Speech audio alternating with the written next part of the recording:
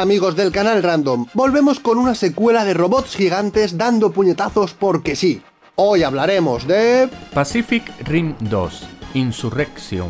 Dentro vídeo. Comenzamos la película con un resumen de lo acontecido en el primer film y una breve explicación de qué son los Jaegers y los Kaiju. Con este resumen os podríais haber ahorrado la primera película, que nos ha dejado un mundo en el que los mendigos prefieren intercambiar un Oscar por una caja de cereales. Pero además de cambiar las estatuillas, Jake roba componentes de Jaegers, que para ser tan valiosos no tiene lógica que estén en un desguace. Tras conseguir abrir una puerta resulta que alguien se les ha adelantado y ha robado ese componente que iba a ser los ricos. Pues como no hay componente, los socios de Jake intentan matarlo, pero consigue huir. Además, por algún motivo que no se sabe, tiene un radar que indica en qué posición se encuentra el objeto en cuestión. O eso, o se llevaron una bola de dragón. Total, la ladrona se va en moto de noche y llega a su casa ya de día. Lo que no sabemos es cómo ha llegado Jake al mismo tiempo que ella, porque no vemos ningún vehículo fuera. ¿Será que corre muy rápido? La chica se llama Mara y ha construido un Jaeger completamente sola. Casualmente la última pieza que le faltaba ha sido la que ha robado. Jake le propone a la chica vender el robot, mientras vemos que entre plano y plano el brazo que está más adelantado cambia. Aparece mágicamente la policía. No sabemos si adivinaron qué pieza robaron y si tenían exactamente el mismo radar para encontrarlos. La chica huye con Jake y su robot, pero se encuentran con un Jaeger e intentan huir tras distraerlo. La chica nunca había probado su robot porque le faltaba un componente, y probablemente nunca había pilotado uno, pero lo hace a la perfección. Aunque ya me dirás cómo una niña ha podido ensamblar un robot enorme. Da igual, los capturan. Una vez en la cárcel, Mako le propone a Jake un trato a cambio de su libertad, hacer de instructor. En 10 años no han encontrado a nadie más preparado para formar a los pilotos. Pero si este hombre no sabe quedarse quieto entre plano y plano, el guion es más forzado que este error. Una vez en China, Amara conoce a los reclutas que aspiran a pilotar Jaegers y comienza a practicar con el simulador. En la película anterior se suponía que tenían que ser compatibles neuronalmente y los ponían a pelear con palos. Aquí dicen que como son más jóvenes es más fácil la conexión. Claro que sí, ni compatibilidad ni nada, ni palos. Lambert habla con Jake y le dice que los reclutas se graduarán en 6 meses, pero parece ser que hay un programa con drones que hará que los Jaegers queden obsoletos. Mientras tanto Jake no le presta atención porque se está preparando un helado, aunque vemos que el bote de nata cambia de mano en cada plano. ¡Realismo! Por cierto Jake, no te vayas, que te has dejado el helado fuera del frigorífico. Xiao llega a la base de los Jaegers y expone su programa de drones, en el cual dice que podrán pilotarse por remoto.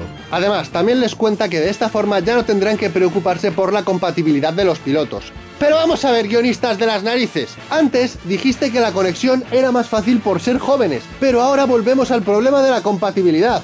Tío, ¿en qué quedamos? Mako invita a Jake y Nate para viajar a Australia con Gypsy como guardia de honor en la cumbre del consejo. Cuando los helicópteros sueltan a Gypsy, este se tambalea al tocar el suelo, lo cual es normal, ya que podían haberlos dejado más cerca del suelo y no tan alto. Ya hay que ser gañán. Total, que de repente aparece un Jaeger no identificado, pero ningún radar lo ha detectado. Si a eso le sumamos las torres de defensa que no sirven para nada, pues ya me diréis qué narices han hecho durante estos 10 años para protegerse. Por cierto, ¿Dónde está el famoso muro de la película anterior? Los Jaegers comienzan a pelear y parece que Gypsy está en clara desventaja, pero aún tiene varios trucos guardados. No es por nada, pero espero que no hubiera gente dentro de esos coches. O lo mismo les da igual matar inocentes. Pero sigamos. Quien muere es la hermana de Jake, Mako. De buenas a primeras aparecen tres Jaegers de los buenos, que... Un momento, estoy pensando, ¿no se suponía que la base de los Jaegers estaba en China? ¿Quieres que me crea que han llegado a Australia en unos minutos? Bah, no importa, total, que el malo se larga de allí para que no le den una paliza. Jake se despide de Mako dejándole una foto en la que están con su padre. Ahora ya no le queda familia. Por muy arrugada que esté la foto, no se puede disimular el fotomontaje cutre que han hecho. ¡Chapucero! Mientras tanto, Amara intenta derivar con un cerebro al igual que todos los cadetes, pero ella es la única que no lo consigue. ¿Me estás diciendo que ese cerebro es compatible con todo el mundo? Consiguen reconstruir un mensaje incompleto que envió Mako antes de morir, el cual indica la ubicación de una antigua fábrica en Siberia. Así que van a Siberia, y por allí anda paseando el Jaeger que les atacó en Australia. ¿Me vais a decir que el robot fue buceando desde Siberia hasta Australia y nada ni nadie fue capaz de detectarlo. Pero lo que más me gusta es cuando caen por una grieta de cientos de metros de profundidad y aparecen de nuevo en la superficie junto a un muro pequeño. ¿No se suponía que estaban a mucha profundidad? ¿Por qué entonces el muro es pequeño? Una vez derrotado el Jaeger, resulta que lo pilotaba un cerebro secundario de un kaiju, el cual parece haber sido modificado por los humanos. Amara descubre que el Jaeger pertenece a Industria SAO por el enrollado de los cables. Lo sorprendente es que a pesar de que lo habían revisado minuciosamente y hasta etiquetado cada pieza, nadie se había dado cuenta. ¿Cómo se nota que hay que forzar el guion para darle protagonismo a la chica? Industria Xiao pone en marcha sus drones, pero los kaijus toman el control de ellos. Mientras, dos de los drones están en la base destruyendo a los Jaegers. El resto se encuentran en distintos puntos, abriendo brechas para que se produzca una invasión kaiju. Pero vamos a ver, esto no tiene ningún tipo de sentido. Se supone que las brechas son puertas interdimensionales. ¿Me estás diciendo que por hacer un bujero en el océano ya se ha abierto una puerta con otra dimensión? Newton se revela como el causante del ataque, ya que parece que los precursores lo controlan tras derivar en la primera película. ¿Cómo no se dio cuenta nadie de la manipulación? Pues muy sencillo. Resulta que el 38% de la empresa está automatizada y que fue fácil meter una sorpresita de origen Kaiju. ¿Me estás contando que has metido decenas de cerebros gigantes en los drones y nadie se dio cuenta? ¿Y de dónde los has sacado? ¿Tampoco nadie revisó los drones? Este guionista es mi héroe. Xiao consigue acceder a los drones y desactivarlos, con lo que las brechas se cierran, pero parece que tres Kaijus han logrado cruzarlas. Tras hacer un recuento de bajas, solamente hay disponible un Jaeger que casualmente es el de los protagonistas. Además, todos los pilotos han muerto o están heridos, así que casualmente solamente pueden pilotarlo nuestros protagonistas. Sí, lo sé, lo vengo diciendo todo el vídeo, es que el guion es forzado a más no poder.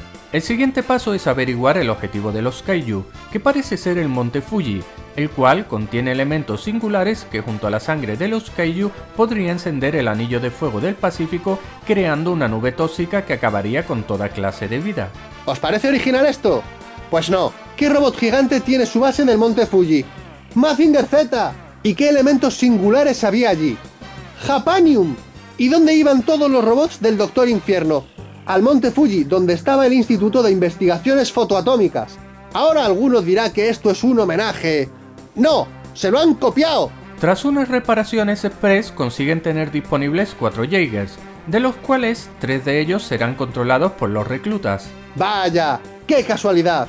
Ahora hay Jaegers para todos, así que los robots llegan gracias a unos cohetes justo antes de que los Kaiju alcancen el monte Fuji y uno de ellos se pone la canción del Trololó para animarse. Newton activa unos androides que hay en una de las fábricas automatizadas de Xiao y se dirigen a los Kaiju uniéndose para formar un único monstruo gigante.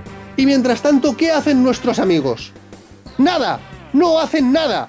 Se quedan mirando en lugar de aprovechar que los monstruos están indefensos para atacarlos. El Kaiju gigante destroza a todos los Jaegers menos el de Jake y Nate, pero este último resulta herido y lo sustituye a Mara. El plan es usar un cohete para alcanzar la máxima altura posible y caer en picado sobre el Kaiju. Para ello necesitan el Jaeger de Amara que lo maneja Sao. Que... eh, vamos a ver, alma de cántaro. Tantas fábricas de drones que tienes por todo el mundo y lo único que puedes llevar es este pedazo de chatarra. Total, que parten al bicharraco gigante por la mitad y se ponen a tirar bolas de nieve. Fin. ¡Salid de la cabina ahora mismo! ¡Hola! Soy Samuel L. Jackson. ¿Pero qué cojones? ¿Conoce la iniciativa de los Vengadores? ¡Toma, Vengadores! ¡Hijo puta!